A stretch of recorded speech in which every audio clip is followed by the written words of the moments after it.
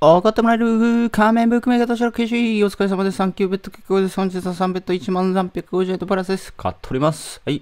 天津のクリスマスめちゃめちゃ多かったということで、クリスマスもしっかり抜き抜きしてますね。